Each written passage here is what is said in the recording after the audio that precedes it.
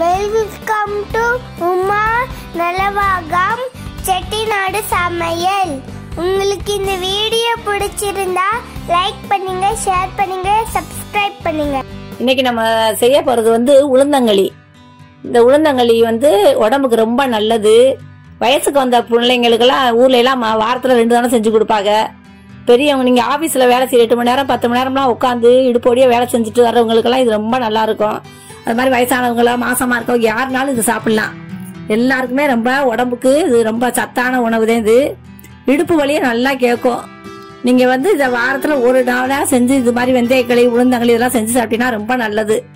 அதனால இன்னைக்கு உளுந்தங்களிக்கு தேவையான பொருள் என்னன்னுங்கிறத சொல்றேன். நூறு வெள்ளை உளுந்து ஐம்பது பச்சரிசி ஒரு இரநூறு கிராம் வெல்லம் கொஞ்சம் உப்பு கொஞ்சம் சேர்த்துக்கணும். நல்லெண்ணெய் ஒரு ஐம்பது. இப்ப உளுந்த வந்து நல்லா வாசம் வர்ற அளவுக்கு நல்லா வறுத்துறணும் நல்லா வறுத்துட்டு மனம் வரணும் நல்லா.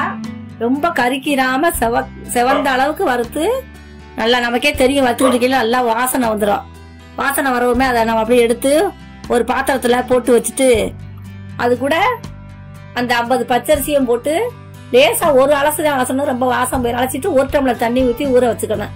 அது ஒரு பத்து நிமிஷத்தில் ஊறிடும்.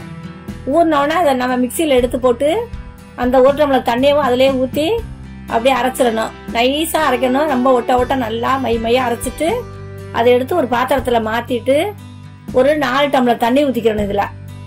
நான் வந்து நூறு கிராம் உளுந்துக்கும் அரிசிக்குதே சொல்றேன். நாலு டம்ளர் தண்ணி ஊத்தி நல்லா அந்த உப்பையும் போட்டு கலக்கி எடுத்துக்கிறணும். ஓரளவுக்கு நல்லா கொஞ்சம் கெட்டியாக இருக்க கூட தண்ணியா வச்சு நம்ம சிம்மில் தான் வச்சதுல இருந்து சிம்மில் தான் வைக்கணும். சட்டி அடுப்புல வச்சதுல இருந்து தீய கூட்டக்கூடாது.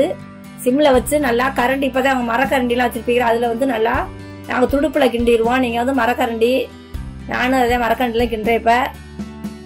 கட்டிப்படாம கையை எடுக்காம நம்ம கிண்டிக்கிட்டே இருக்கணும். அப்ப கட்டியே வராது கொஞ்சம் கூட. கட்டிப்படாம நல்லா ரொம்ப நேரம் இன்னொன்று நிறையா நீங்கள் வேணும்னா ஒரு கிலோ உளுந்து அரைத்து அரை கிலோ அரிசி அரை கிலோ உளுந்துனா கால் கிலோ அரிசி போட்டு மிஷினில் அரைச்சாந்து வச்சுக்கிட்டு நமக்கு தேவைக்கு கொஞ்சம் ஒரு டம்ளர் மாவு போட்டு இந்த தண்ணியில் கரைச்சிக்கிட்டு இதே மாதிரி வச்சு நீங்கள் கிண்டிக்கலாம். நம்ம கொஞ்சமாக வேணும்னா இந்த மாதிரி வீட்டுக்கு அன்னைக்கு அன்னைக்கு நம்ம வறுத்து தேவைக்கு செய்கிற அன்னைக்கு வறுத்துக்கலாம். இப்போ கெட்டி ஆயிடுச்சு கொஞ்சம் கூட கட்டி இல்லாமல் கிண்டியிருக்கேன் பாருங்க. இந்த மாதிரி சிம்மில் வச்சு நல்லா கிண்டிகிட்டே வந்து நல்லா வெந்துடும் லேசாக தண்ணி எடுத்து கையில் தொட்டுக்கிட்டு அந்த மாவில் தொட்டினாவே தெரியும். மாவு நல்லா வெந்துச்சுன்னா நம்ம கையில் ஒட்டாது. அதுதான் வெந்ததுக்கான பதம் இப்போ வெள்ளத்தை போட்டுருவோம்.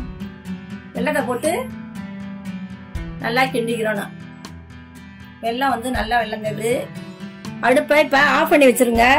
அந்த மாவோட சூட்ல வெள்ளம் கரைஞ்சிரும்.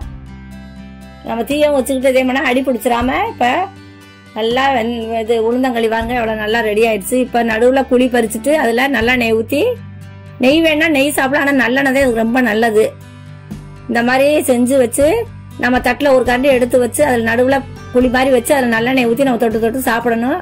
இது ரொம்ப ரொம்பவே நல்லா இருக்கும் நீங்கள் இந்த மாதிரி இதை ஒரு தடவை நீங்கள் செஞ்சு பார்த்தீங்கன்னா அடிக்கடி செஞ்சு சாப்பிடுவீங்க. இதை செஞ்சு சாப்பிட்டு பார்த்துட்டு எப்படி இருக்குன்னு சொல்லுங்க. இந்த உளுந்தங்களி உடம்புக்கு ரொம்ப நல்லது. இது எல்லாரும் செஞ்சு பார்த்து சாப்பிட்டு எப்படி இருக்குங்கிற சொல்லுங்க. உங்களுக்கு எங்களோட ஆயா சமையல் பிடிச்சிருந்தா கமெண்ட் பண்ணுங்க சப்ஸ்கிரைப் பண்ணுங்க.